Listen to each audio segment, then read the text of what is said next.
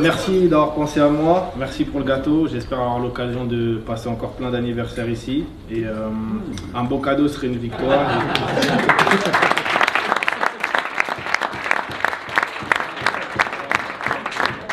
Thank you.